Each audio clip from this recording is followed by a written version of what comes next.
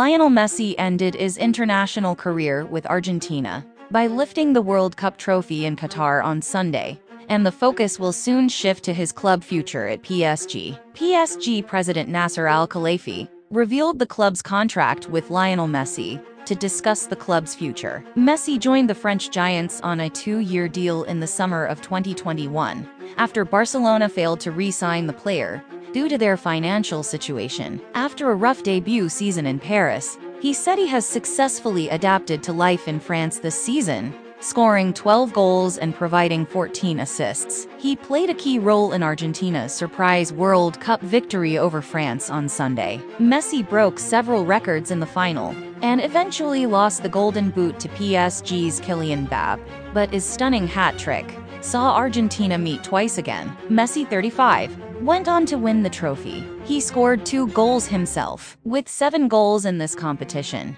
Messi will be champion in the coming days and weeks. His contract in Paris expires in six months, However, and discussions about his future at club level will soon take place. Messi refused to answer the phone on behalf of the Barcelona president's close negotiator, Joan Laporta, who wants the Argentine star to return to Camp Nou. Laporta's negotiating tactic has so far failed. Laporta planned to meet the former star at the Ballon d'Or ceremony in Paris in October, but that didn't work out. MLS side Inter Miami are another club tracking the Argentine. But despite reports that a deal has been agreed at the end of the season, Messi's future still hangs in the balance. PSG president Al-Khelaifi was upbeat when discussing the Argentine's future at the club after Sunday's final. He said, Should I leave Messi and Mbappe? Absolute. They are two of the best players in the World Cup. I don't want to say more about Leo. We have time to talk after the World Cup. Commenting on the impact the Parisian club stars have had on the entire World Cup, he added. Most importantly, PSG broke all records as a club. We are proud that they and Achraf Hakimi finish fourth in Morocco. Al-Khelaifi, a member of the Qatari government, said of the match, that,